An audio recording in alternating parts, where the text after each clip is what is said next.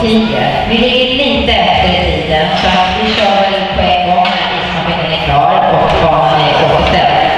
Då kommer vi ha på plan ismaskin, Bålsta Hockey 2 mot Almtuna IF 2. Och på plan Halva Kiosk, Arlanda Wings 2 mot Väsby IK. Välkomna!